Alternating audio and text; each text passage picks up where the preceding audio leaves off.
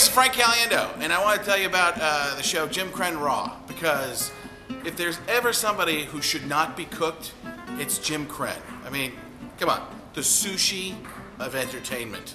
That's what we're talking about. Jim Krenn in the Asian world, he is raw fish.